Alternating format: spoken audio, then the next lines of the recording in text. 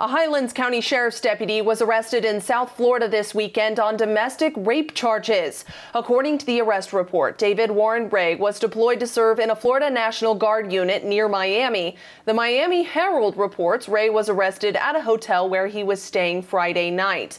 Right now, there are no additional details on his arrest. The Herald reports Ray is a sergeant first class with the Army's 116th Field Artillery Regiment and was in South Florida since January January to help serve COVID 19 response efforts. Katie Johnston for CBSMiami.com.